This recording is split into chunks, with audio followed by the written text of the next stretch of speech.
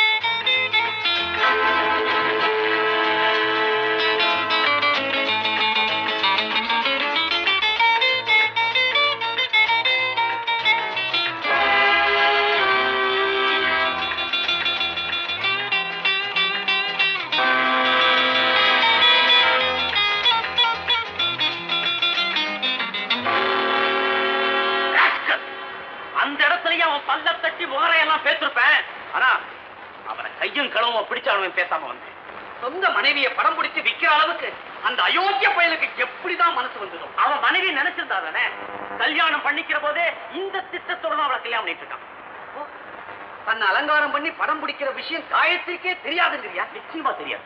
தெரிஞ்சிருந்தா இந்நேரம் உயிரே விட்டுருப்பான். எவ்வளவு சீக்கிரம் முடியுமோ அவ்வளவு சீக்கிரம் காயத்ரிய அந்த நரகத்தை நம்ம காப்பாத்தியாகணும். சரி இன்னைக்கு ஈவினிங் என்ன பிளான் சாயந்தரம் பணத்தோட நம்ம அங்க போவோம். பிலிம் ரோல் அவன் கொடுப்பான். நம்ம கூட மஃப்டில ஒரு இன்ஸ்பெக்டரை அழைச்சிட்டு போவோம் very good on the spot அவன் அரெஸ்ட் பண்ணு ஏன் உங்களை எல்லாம் அவசரம் அவர் சொன்னேன்னா உடனடியா ஒரு முடிவு பண்ணி ஆகணும் நாம இந்த பிசினஸ் கொஞ்ச நாளைக்கு நிறுத்திடணும். முதல்ல பேசினபடி அவங்கவுங்க பங்கை பிரிச்சுக்கிட்டு அவங்கவுங்க சொந்த ஊருக்கு போயிடுவோம்? மறுபடியும் ஒரு வருஷம் ரெண்டு வருஷம் ஆனதுக்கு அப்புறம் ஏதாவது ஒரு ஊர்ல ஒண்ணா சேரலாம். ஏ இந்த ரகசியம் வேற யாருக்காவது தெரிஞ்சிருக்கும்னு சந்தேகப்படுறியா? ஆமா. நம்ம இவ்வளவு ஜாக்கிரதையா இருக்கிறப்போ இந்த ரகசியம் எப்படி வெளியில தெரிஞ்சிருக்கோம்? ஐயா நாம ரொம்ப புத்திசாலியா இருக்கலாம். ஆனா நம்ம கிட்ட சரக்கு வாங்கிட்டு போறவங்க எல்லாரும் புத்திசாலியா இருப்பான்னு எப்படி சொல்ல முடியும்? எவனாவது ஒருத்தன் மாட்டிக்கிட்டான்னா செயின் மாதிரி எல்லாருமே மாட்டிக்கணும். நாம இது வரைக்கும் வெளிநாட்டுக்காரங்களுக்கும் பாம்பே கல்கத்தா டெல்லி ஆளுங்களுக்கு தான் சரக்கு வித்துக்கிட்டு இருந்தோம். ஆனா இப்போ எப்படியோ ஒருத்தருக்கு ஒருத்தர் ஃப்ரெண்ட் ஆகி விஷயம் தெரிஞ்சுக்கிட்டு இப்போ ரெண்டு பேரும் வந்துட்டாங்க. இதே மாதிரி யாருக்கு யார் ஃப்ரெண்டுன்னு நாம எப்படி சொல்ல முடியும்? நீ சொல்றது ரொம்ப கரெக்ட் எப்போ சந்தேகம் வந்துருச்சோ அப்பவே வியாபாரத்தை க்ளோஸ் பண்ணிடுறதா நல்லது. அப்புறம் எப்போ சந்தர்ப்பம் கிடைக்குதா ஆரம்பிச்சுக்குவோம்? என்னம்மா காயத்ரி என்ன பண்றது? அது கழுத. நான் எங்க போனாலும் பின்னாலே வர வேண்டியதுதானே. ஏற்கனவே நான் ஒரு திட்டம் போட்டு வச்சிருக்கேன். அது நிறைவேறினதும் அதையும் வித்து காசாக்கிட்டு அதுக்கப்புறம் கொஞ்ச நாளைக்கு இந்த வியாபாரத்தை நிறுத்தி வச்சுக்கலாம். என்ன திட்டம்?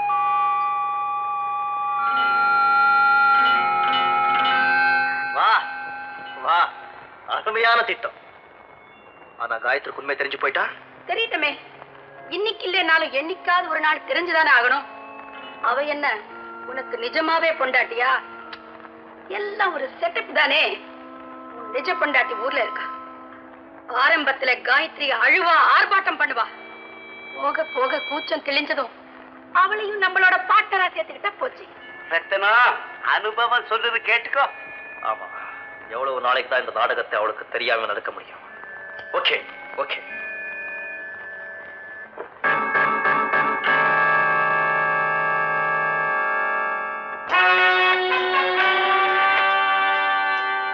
Hello Ganesh here hello Raghavan. ஆ இன்னைக்கு சாயந்தரம் ஆறு மணிக்கு நீங்கள் கூட வரணும். ஆமாம் நீங்கள் பாட்டில் தொப்பியும் காக்கி சட்டி போட்டு வராதீங்க. மப்சியில் வாங்க. ரொம்ப இன்ட்ரெஸ்டிங் வாங்களேன். Oh, தேங்க்யூ தேங்க்யூ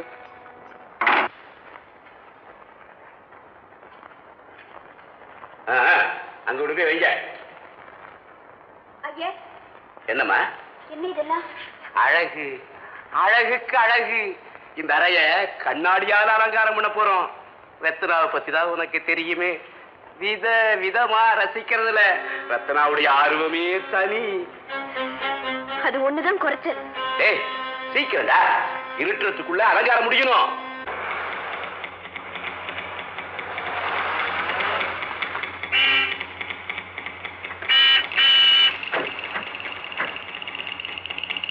ஏன் அதுமி கோண? அவர் எனக்கு ரொம்ப வேண்டப்பட்டவரு. வாங்க. நை நை உங்க ரெண்டு பேரைத்தான் வர சொல்லி ஆடம் சரி கதவு தர இன்ஸ்பெக்டர் நீங்க இங்கேயே இருங்க. தேவைப்பட்டா நிலைமையை புரிஞ்சுக்கிட்டு உள்ள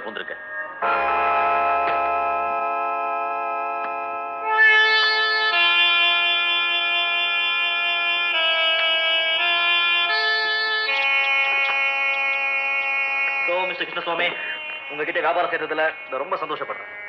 இப்போ ஒரு படம் எடுத்துட்டு இருக்கேன். புதுமையான ஐடியா மான் வீட்டையும் பேர் வச்சிருக்கேன். ஆனா இது இவ்வளவு சிம்பிள் விலை கொடுக்க முடியாது. ஒரு paint two lakhs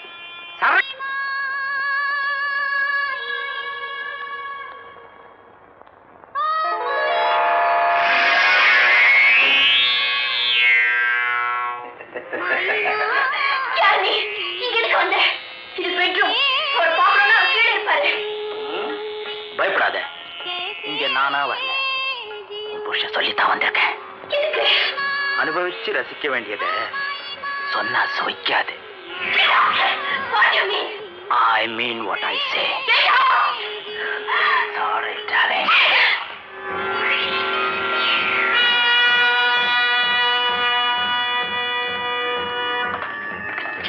ஐயா கொஞ்சம் இப்படி வாங்க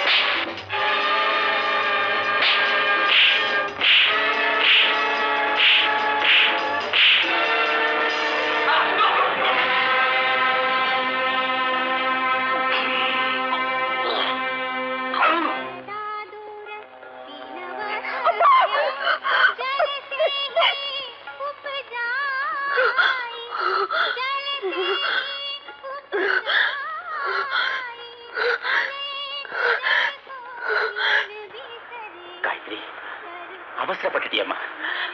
உன்னை நான் காப்பாத்துறேன்னு சொன்னதை நம்பலையா? உனக்கு குடும்பம் பண்ணவங்க எல்லாரையும் கைது செஞ்சாச்சு. குறைஞ்சது அவங்களுக்கு இருபது வருஷமா தண்டனை கிடைக்கும். எல்லாத்துலயும் வெற்றி அடைஞ்சு உன்னை காப்பாத்த போற கடைசி நேரத்துல இப்படி செஞ்சுட்டியம்மா. இப்படி செஞ்சுட்டே இல்ல. நான் செய்தது சரிதான். இதை விட பெரிய விடுதலை எனக்கு கிடைக்கவே முடியாது. என் புருஷனே என்ன பெண்டாள ஒரு சண்டாள நினைப்பிச்ச பிறகு நான் வாழுமா? ஐயா நீங்க யாருன்னு எனக்கு தெரியாது. என்னை விடுவிக்க நீங்க இவ்வளவு முயற்சி எடுத்ததுக்கு நன்றி. என்ன முயற்சி பண்ணி என்னம்மா பிரயோஜனம்? உன்னை என்னால நீங்க காப்பாத்தினாலும் இனிமே எனக்கு ஏது வாழ்க்கை? காலம் பூராவும் கண்ணீரோட வாழறதை விட நிம்மதியா சாகுறேன் ஐயா நான் செத்த பிறகு என் பணத்தை கூட இந்த சண்டாளுக்கு பார்க்க கூடாது தயவு பண்ணி எங்க அப்பா அம்மாவுக்கு தகவல் தெரிவிச்சு அவங்க கிட்ட ஒப்படைச்சிருக்க